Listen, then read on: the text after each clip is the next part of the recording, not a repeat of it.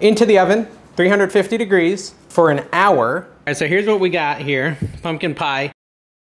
Hey everyone, Dave here, and today we're gonna make cottage cheese keto pumpkin pie, and it's gonna be awesome. To start it off, we're gonna need this thing called the bowl. Very useful little tool when cooking. I thought it'd be good to make a pumpkin pie kind of replacement copycat pumpkin pie because Thanksgiving is almost here. One cup of almond flour, one, one and a half cups of almond flour is what we need. One and a half. Now, yeah, so I was thinking, all right, people are gonna want, you know what I should make? This is an idea, epiphany moment, stuffing. I wonder if we could pull off a keto stuffing. That'd be an interesting future video. Anyways, cup and a half almond flour, quarter cup of coconut flour. Is that right? Yeah, quarter cup of coconut flour. Then a quarter cup of sweetener. We got options. You could use allulose or erythritol. I've got some, whoops, sorry.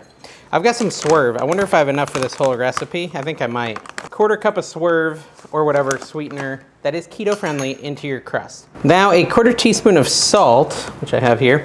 Now I wanna hear about your, if you guys are willing to tell me, your Thanksgiving traditions. In the comments, let me know what you guys like to do for Thanksgiving. Quarter cup of fine sea salt, Generally, we like to spend time with family. Pretty common, I think. And then a half teaspoon of cinnamon, in a minute, cinnamon, in a minute. Was that Lizzo?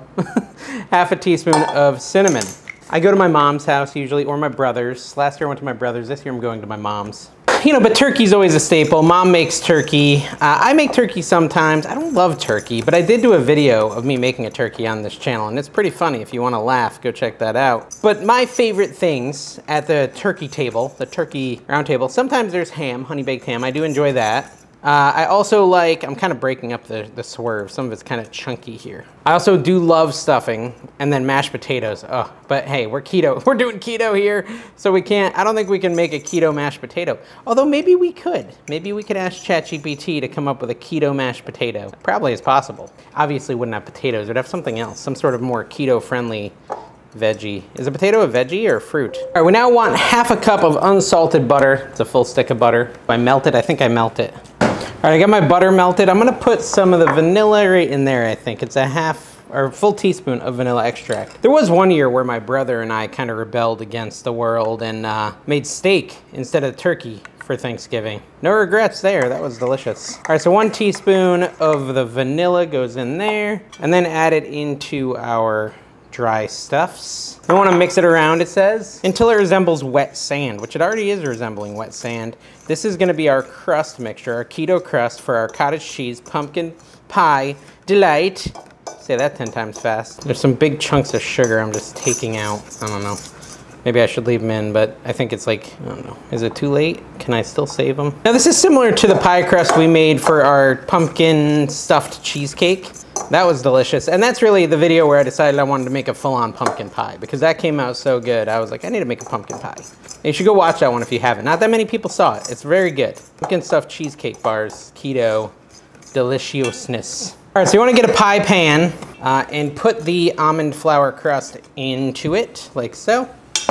And then we're just gonna kind of push it down and up the sides a little because, you know, people like to have a little, a little crust on the back too when they're having their pumpkin pie, which makes me realize, don't ask me why it makes me realize, I have to go to the post office today, but somehow that's how my brain works. I can't even figure out the thread that attached the two. The minute I thought people like backs on their pumpkin pie, I thought, I need to go to the post office. It's a weird connection. Anyways, that's neither here nor there. There you go. That looks like a nice crust, though, I will say. We got to make our filling next. Obvi. That's what the kids say. They say obvi. I have three of them. Obvi, Dad. Obvi, they say. I don't even know what they were doing in here last night. I came down, there's like this huge mess of food coloring. Like they were tie-dyeing or something while I was asleep. Anyways, set that aside and we're gonna work on our crust. No, that is our crust. We're gonna work on our filling. I've got a messy workspace. It's in my nature. Remember that ad like six of you are gonna remember this ad. Uh, okay, what do I need?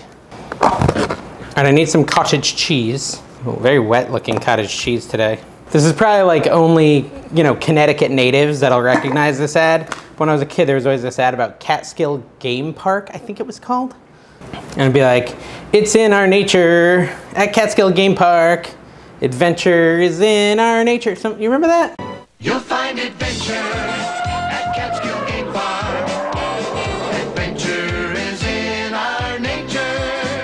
Was that a nationwide ad or is that just some random Connecticut Northeast memory? That's a lot of liquid, dang. All right, so we want a cup and a half of strained cottage cheese. Now what I've learned, you know, hold on, I don't blend it yet, I have to strain it first, I forgot. It's been a minute since I worked with uh, cottage cheese like this. So I need my cheesecloth and I need to strain it. And I need a cup and a half, is that right, cup and a half? Of cottage cheese after straining, which someone told me is the same as farmer's cheese, but I have not been able to find farmer's cheese, so I need to research that a little more. I'm gonna need more than that for sure. I hope I have enough cottage cheese. Oh, I do, I have a whole nother thing of it. Okay, so we're gonna strain the cottage cheese in our cheesecloth, uh, like so. Never a clean job, but effective. All right, so I've got my cup and a half of strained cottage cheese. I'm gonna put in my little Ninja Chopper thingy. If you want one of these, they're really handy for doing this sort of thing. I'll put a link in the video somewhere. I might earn like 12 cents in affiliate money if you order one through my link. Okay, so I'm gonna blend this up. I did turn on channel memberships too, if you're looking for a way to support. Basically all that does is it supports me and the family with YouTube ad rates changing different seasons, things like that, the ad revenue can go up and down. YouTube membership's just a way to support. So you don't have to do that, but I did turn it on because some people asked me to. All right, so that's pretty well blent up and smooth. I almost feel like it get a little more smooth. Yeah, we're gonna call that good enough. So a cup and a half of blent up, grained cottage cheese try not to cut myself there. Okay, so what I wanna do is I wanna take our blended cottage cheese and put it into a bowl, something you can mix in. If you got a KitchenAid, you could use that, you know, one of those stand mixers. I got in like the KitchenAid stand mixer phase for a long time, thought they were the greatest thing. Now I'm like not so sold on them. Now I think they're just kind of annoying. I like how I've got like a grudge against the KitchenAid stand mixer. But I got this little KitchenAid, still a KitchenAid, so they can't get mad, although they also don't sponsor me. But hey, KitchenAid, reach out if you want to. Uh, this little stand mixer, or this little handheld mixer is wireless, it charges. Just way more convenient than the big chunky, clunky thing. All right, now into that same bowl, we're gonna add a cup of pumpkin puree. I mean, we are making pumpkin pie after all, so it makes sense. You'd use a cup of pumpkin puree. That in the bowl, flop, flop. Okay, so we added our pumpkin puree. My camera keeps overheating. Now we need to add another cup, full cup. Oh man, can I get a full cup out of this? Of the Swerve sweetener. Or you can use allulose. Like I said, I already said that. I'm repeating myself. A cup and also a quarter. So a cup and a quarter. Is that right? No, I don't know why I got the quarter. Put that back, Dave. That's because I had a quarter cup in the in the crust. That's why. I forgot I was separating them. So a cup of swerve or allulose, whatever. The reason I tried the swerve is because lately I've been using allulose and it's not like as sweet as any of the other fake sweeteners. And I like sweet stuff. I'm a real sweet guy, you know? Okay, next we want to add three, yes, count them, three eggs. Uno, uh, come on Dave, dos, and I'm living life dangerously, just assuming I'm gonna get no shells in there, three. All right, then we want a half a cup of heavy whipping cream to be added. Sniff test, yeah, still good. it says 1217, so it should be fine. Half a cup of that in there. Seems like a lot. Now I want to add a teaspoon and a half of vanilla extract. There's one teaspoon, and I'm just crazy like that, so half. Now we need the old pumpkin pie spice, a tablespoon and a half of that, so it's a lot. I'm surprised it goes in here, and well, yeah, it makes sense because it's the filling, Dave. There's a tablespoon, super precise, you know? And then a half tablespoon, which I'm just gonna do this way because I can't find a half tablespoon, a little less that. Uh, that's close. Baking's like the one thing you're supposed to be precise in, but here I am being imprecise. I feel like pie filling, it doesn't matter as much. It says you can add a quarter teaspoon of ground ginger. I'm not gonna add that, that's weird. I mean, maybe I should, but it just seems weird. What do you guys think? Would you add it? Quarter teaspoon of salt goes in there. And then we mix, as Sam the cooking guy would say. So mix that all up into a delicious looking pumpkin pie filling. Okay, so it is like a liquidy consistency. I just asked ChatGPT, it says that's normal. So we should be good. We're now gonna dump it into the pumpkin pie, like on the, on the, in the pumpkin pie crust. I'm not a professional cook, guys. That's why I don't really know. I've never made a normal pumpkin pie, let alone a keto one. All right, we're now going to, it's very smooth, right? Yeah. So we're now gonna pour it into the crust like so. I just saw a rogue chihuahua enter the scene. We got little, little new puppies. I'm not gonna bring it up here because I'm cooking, but it's very cute. Okay, so here's our pumpkin pie, guys. Look at that, we gotta cook it into the oven 350 degrees for an hour until the center is set but slightly jiggly. Then we gotta cool it to room temperature for like a couple hours and then we will try it and I'm really excited because it's gonna be delicious. We'll be back with the final reveal, don't go anywhere, cottage cheese, pumpkin pie. All right guys, I'm back. It is the next day. I don't even have my microphone on, sorry.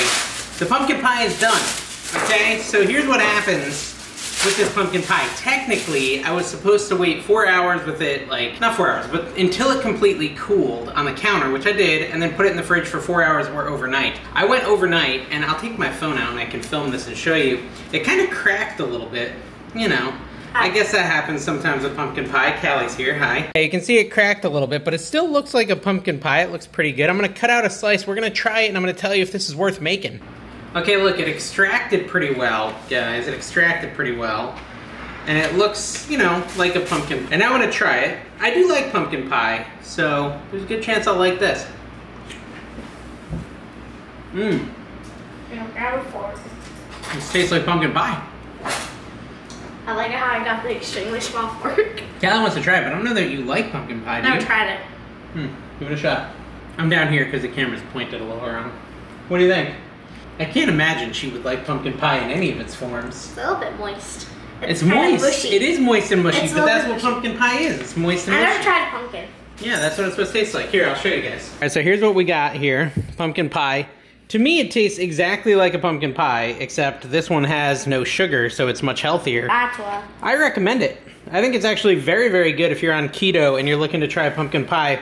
And this is cottage cheese base. It's really a win-win for the holiday season, guys. Try it out. I'm gonna have some more of it.